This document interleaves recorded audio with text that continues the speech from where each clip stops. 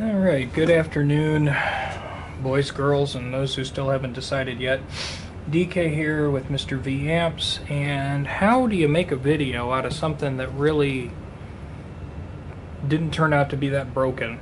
This is a, one of the Vox Little Night Trains, um, model NT2H, and uh, the gent already had it apart, and he had already uh, changed the tubes in it in an effort to correct an issue where he was not getting um, a diddly squat for output, basically. Um, so I just figured the routine. I took the bottom off, um, started cleaning on the controls, did a quick inspection, um, and after just cleaning controls and pots and jacks, I plugged it in and it's working good for me. So this may have just been an instance. Maybe maybe the customer's got a problem with a guitar cable, a speaker cable, a speaker. I'm not sure, but I thought it would be a good opportunity at least to look inside of it. And the pots here have a Delta logo on them, so I think that's actually the manufacturer. Uh, the gain pot was a little on the scratchy side. Um, that obviously would really impede signal getting into the amp if it wasn't clearly passing through the gain pot because that's your first stage and we use some lovely Max Pro product there to clean that up. Um, that's that's working okay now. Um, uh, and then and then you can tell the the gain pot is actually they have this uh, tape here to keep it from grounding to the chassis, which is interesting. They float the ground up here for the uh, for the input jack and, the, and that's kind of neat. They tape that off. So I, they probably did that to reduce noise. This little thing is, I guess, up to 2 watts into 16 ohms, and I think 1.5 watts into 8 ohms. But it uses all what we would consider preamp tubes. There's two 12AX7s and a 12AU7, which they use as the power tube. Um, some people have swapped the 12AU for a 12BH7 and said they like the they like that, but that would that makes the heater uh, currents a little different and it does increase the draw that works your um, transformer a little harder but uh, everybody who's done it says it's fine. Um, this has new tubes in it. That was one of the things that uh, the gent uh, tried before he brought it to me.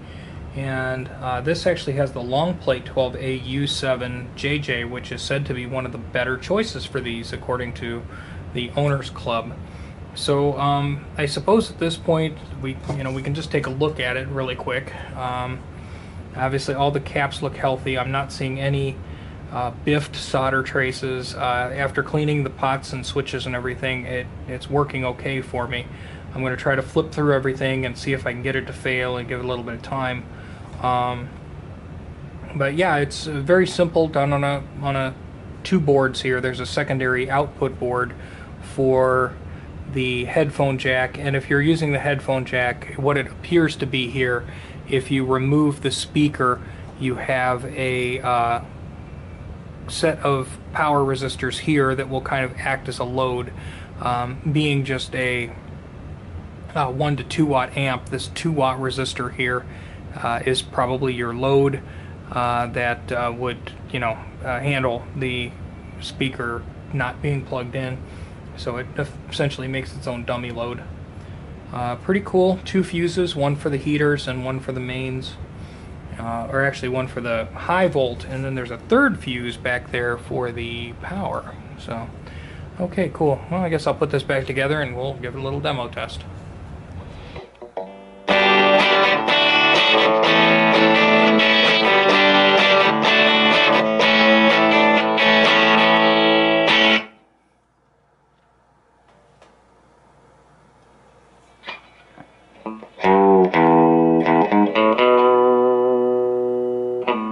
I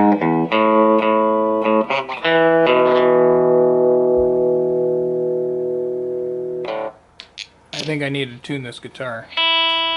Yep.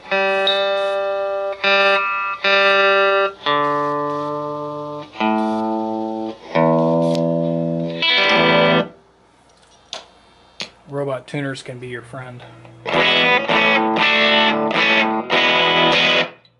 With more treble, that does bring in more distortion. Makes sense. Bass pot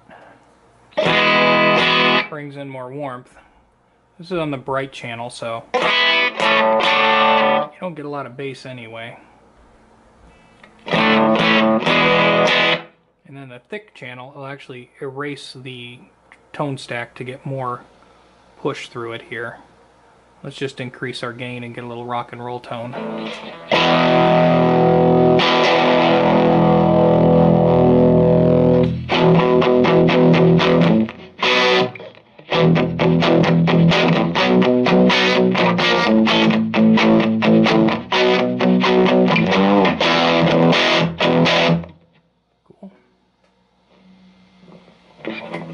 And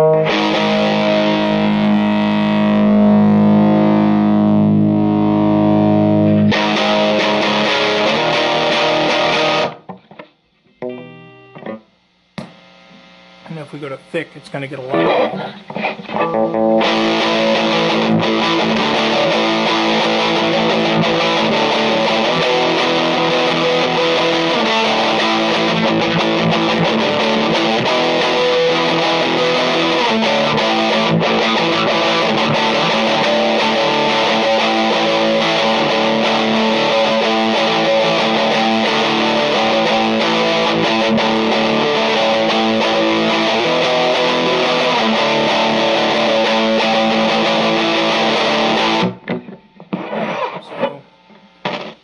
Document that is working.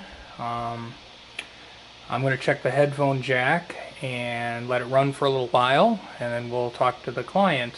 Um, like I say, it's very possible that that gain um, pot was goofy, or the input or output or speaker jack, you know, may have had some schmoo in it that we cleaned out. Or it's possible that Buddy maybe has a bad cable or something to that effect. But uh, it's going to be an inexpensive visit to the shop. I'm going to test the old tubes that came out of it because he already had popped the new tubes in, so that's what we're running with, a set of JJ's. And uh, we'll see what's going on, but I figured it would be fun to document that that was at least here, um, despite the fact that this doesn't really constitute a major repair video where we go through and find all the little uh, intricacies. Um, this is a lot like those practice solid state amps that I pick up from the pawn shop. Uh, if you clean the controls and switches and things, a lot of times they come right back to life. So, hey, maybe this one had the, uh, you know, this, this one had the old PV at a pawn shop kind of resurrection. Pretty easy to do.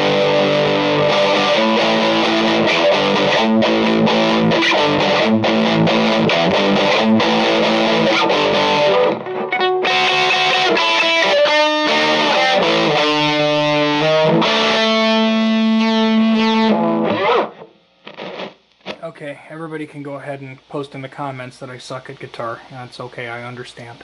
Thanks for watching.